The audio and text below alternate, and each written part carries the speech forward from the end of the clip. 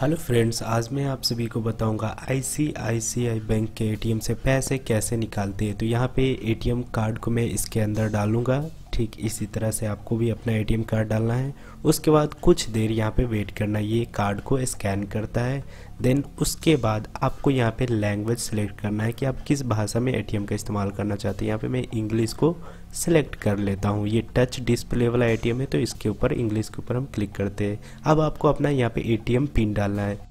तो यहाँ पे हम एटीएम पिन को एंटर करेंगे। उसके बाद आपको यहाँ पे कंटिन्यू वाले बटन के ऊपर क्लिक कर देना है। जैसे आप इसके ऊपर क्लिक कर देते हैं तो अब आपको यहाँ पे कैश विड्रॉल वाले ऑप्शन को सिलेक्ट करना है। तो यहाँ पे ये कैश विड्रॉल वाला ऑप्शन है, इसके ऊपर हम क्लिक कर देते हैं।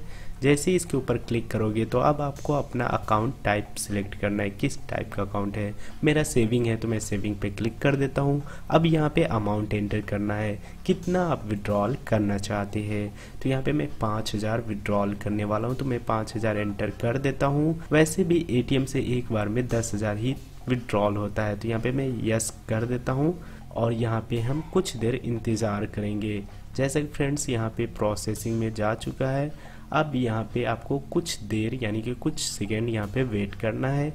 उसके बाद आपको एटीएम मशीन से कैश रिसीव होता है। तो यहाँ पे हम थोड़ी देर इंतज़ार कर लेते हैं। तो जैसा कि गाइज़ आप यहाँ पे देख सकते हैं, हमें कैश रिसीव हो चुका है इस एटीएम मशीन से। तो आई होप कि आप लोगों ने सीख लिया है एटीएम से पैसे कैसे निकालते हैं, यानी कि विड्रॉ करते हैं। वीडियो पसंद आया हो तो लाइक कीजिएगा। चैनल पे नए हो तो सब्सक्राइब कर लीजिएगा।